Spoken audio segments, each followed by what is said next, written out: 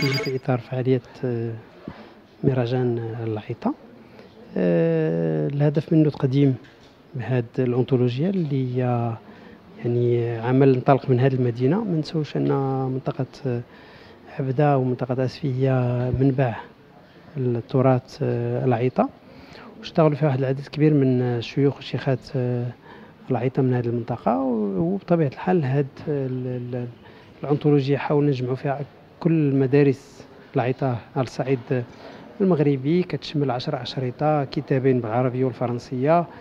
حطينا يعني في موضوعها في المكتبات الوطنية على الصعيد يعني المكتبات آه، الجهوية والوطنية على الصعيد يعني المغربي. وأيضا في بعض المكتبات العالمية يعني وبعض الجامعات آه، أيضا.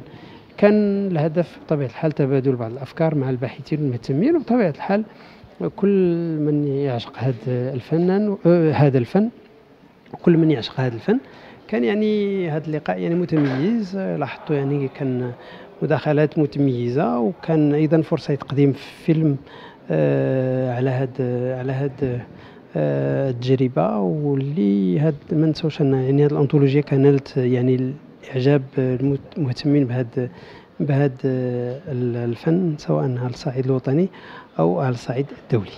أهم المحاور اللي تم التطرق اليها في هذه الندوة هي اولا انطوليا أنطولوجيا العيطة اللي دارها الأخ الباحث السي إبراهيم آه، حيث أعطانا نبذه على العيوط اللي تم التسجيل ديالها في يعني بدرجه تقنية عالية في استوديوهات متخصصة.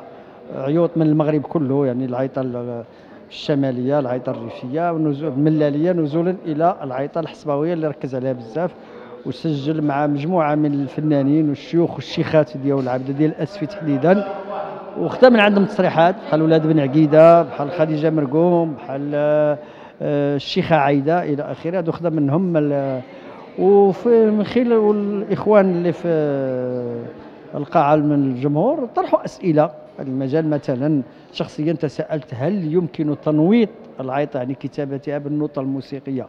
وثانيا دعوت إلى ضرورة تسجيل وتوثيق العيطه لأن العيطه كل واحد كيغنى في شكل.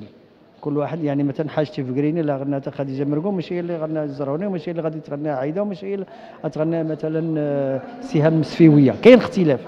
اذا علاش ما تكونش العيطه موحده بحال الملحون؟ الملحون الشمعة هي الشمعة. فاطمة هي فاطمة. كيف غنى هذا؟ كيف غنى؟